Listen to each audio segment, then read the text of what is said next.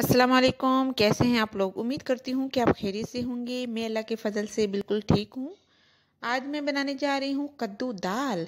जी, और मैं करूँगी आपसे एक सवाल, और मुझे इस सवाल का जवाब आपने ज़रूर देना है, जो भी मेरे देखने वाले हैं। जो भी वीडियो को पसंद करते हैं, लाइक ज़रूर कर दिया करें, वीडियो को अच्छा सा कमेंट्स कर दिया करें। मैंने डाली है आधा किलो दाल और तीन अदद कद्दू। इन दोनों चीज़ों को मैंने बॉयल कर लेना है पहले।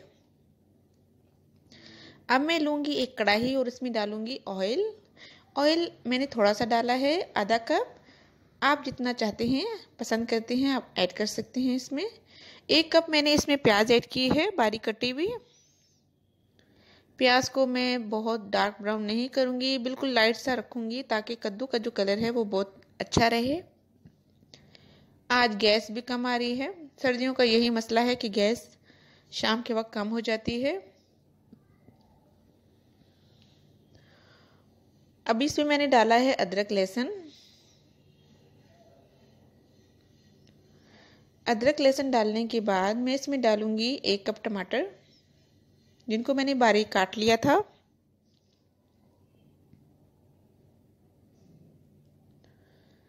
टमाटर डालने के बाद मैं इसमें स्पाइसेस ऐड करूँगी। कुछ लोग ज़्यादा स्पाइसेस पसंद करते हैं, कुछ कम करते हैं। मैंने मेरे मेरा हर खाने में स्पाइसेस नॉर्मल होते हैं क्योंकि हम लोग नॉर्मल पसंद करते हैं।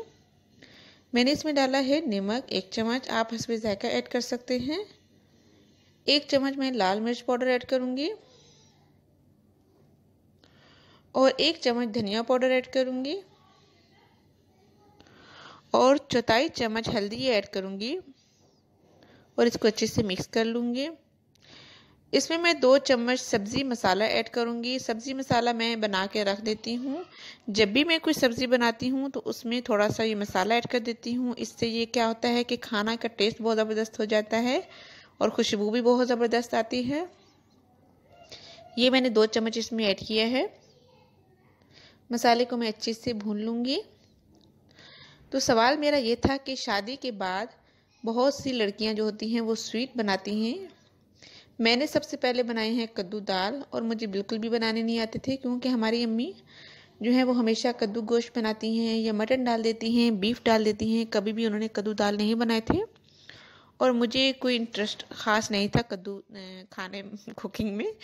और, बस इतफाक़न तौर पे मुझे सबसे पहले कद्दू दाल बनाने पड़ गए क्योंकि मेरी ननन जो थी वो कुछ, उनकी तबीयत ख़राब हो गई, उनको हॉस्पिटलाइज कर दिया गया। और वो उस वक्त भीगी हुई थी दाल और साथ पड़े हुए थे कद्दू और मुझे वही बनाने पड़ गए और मुझे बनाने बिल्कुल भी नहीं आते थे, लेकिन फिर भी मैंने कुछ अच्छे ही बना लिए थे। तो आप लोगों ने मुझे बताना है कि आपने शादी के बाद सबसे अच्छी, सबसे पहले कौन सी डिश बनाई थी?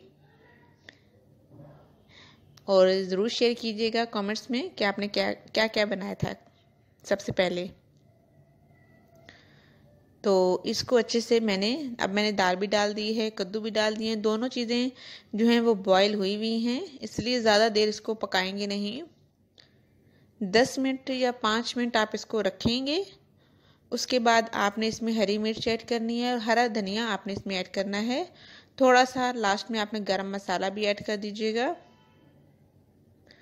दस मिनट दम पे रखने के बाद हम इसको सर्व कर देंगे। वीडियो को अगर पसंद आती है तो लाइक कर दीजिएगा और मेरे चैनल को सब्सक्राइब ज़रूर कर दीजिएगा। अच्छा सा कमेंट्स कर दीजिएगा और सब लोगों को थैंक्स जो मेरी वीडियो पे व्यू करते हैं, मेरी वीडियो को कमेंट्स करते हैं और लाइक करते हैं। Thanks for watching